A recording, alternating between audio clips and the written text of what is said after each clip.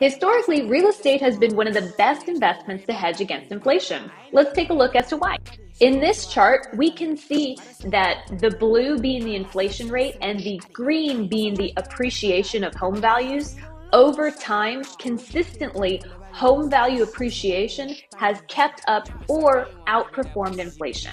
One of the reasons why real estate can hold its value and be a really secure investment, even in times of inflation like what we're seeing now, is that real estate's a tangible asset, meaning once you buy it, it's yours and you're in control of it until you either default on the payments or you decide to sell it. It is gonna be yours and you're in control of its condition and you can raise its value or lower its value depending on what you do to it. Another thing that makes real estate a great investment is that it's an appreciating asset. Historically, over time, the value of homes goes up, especially if you're doing things like taking care of it, upgrading it over time. As long as you have a fixed mortgage rate, your payment is gonna stay about the same. And that's definitely not the case if you're renting. Your rental payment is literally in the control of your landlord and one decision away from forcing you to move your entire life because they wanted to raise your, your monthly payment.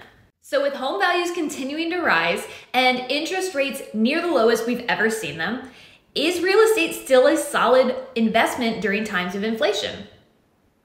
Yes. Follow me for more data-driven real estate advice.